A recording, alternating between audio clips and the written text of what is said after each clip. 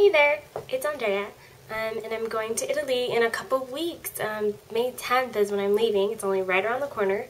And I really want to do some travel style vlogs while I'm over there, except I don't follow any travel blogs. So if you guys could um, send me some links of some blogs you like so I can get some ideas of what I can do. Also, if you guys can... Tell me what you like to see in travel blogs or what you'd like me to blog about while I'm over there. That would be awesome.